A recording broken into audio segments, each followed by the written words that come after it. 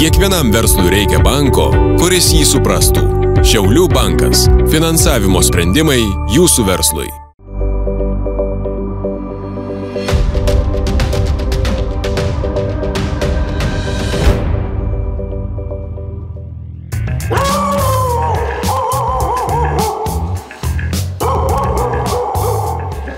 Štai toks sutikimas laukia atvykus į vieną iš ofisų Vilniaus Gedimino prospekte. Čia dirba mobiliosios programėlės Humans App komanda bei jos įkūrėjas Justas, kuris ir paaiškina savo kūrinio idėją.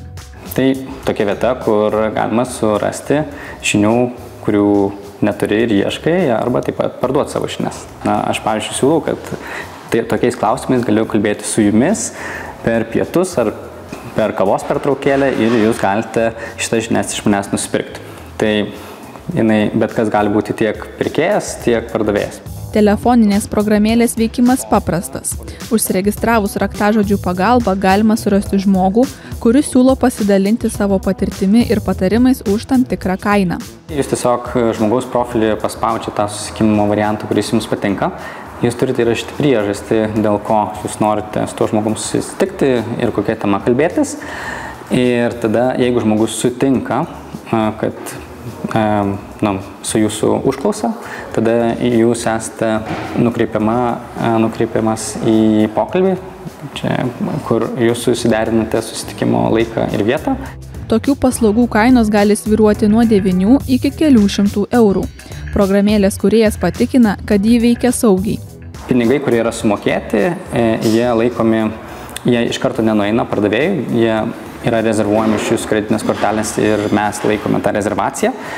Ir jeigu sutikimas neįvyksta ar, ar kažkokios problemos kyla, tai visada galite kreiptis per programėlę pas mus ir na, jeigu sutikimas nevyko, tuos pinigus mes jums gražinsime. Naudodamiesi šią programą, žmonės gali prisidėti prie labdaros organizacijų išlaikymo. Šiuo metu 50 procentų visų surinktų pinigų už susitikimus nukeliauja oro labdaros organizacijų. Tai jaunimo linija, Paktakoja, Rupertas, Mėlyna Geltona, Išgelbėkite vaikus, Paguoda, yra visas sąrašas ir pastoviai jį pildome ir labdaros organizacijos taip pat gali kreiptis pas mus, kad jos būtų įtrauktos į mūsų sąrašą. Nuo gegužės mėnesio veikiančioje programėlėje jau yra užsiregistravę keliolika tūkstančių žmonių. Alternatyvos tokiai programėliai Lietuvoje kol kas nėra. Reporterė Diena Valantinaitė, Vilnius.